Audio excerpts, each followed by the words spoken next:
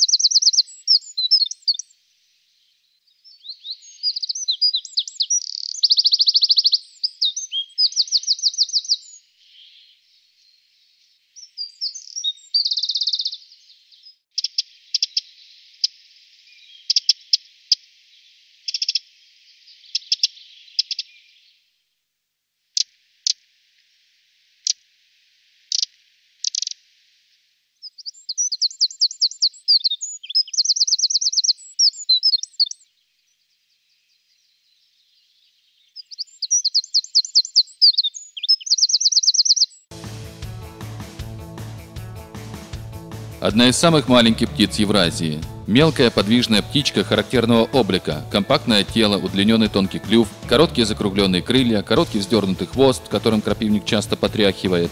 Народные названия – подкоренник, орешек, орешник, задери хвост – предпочитает пойменные захламленные листа с валежником и буреломом. На юге ареала встречается главным образом в зарослях колючих кустарников. В горах обычен, по сырым распадникам до высоты 4000 метров. Охотно заселяет и антропогенные ландшафты.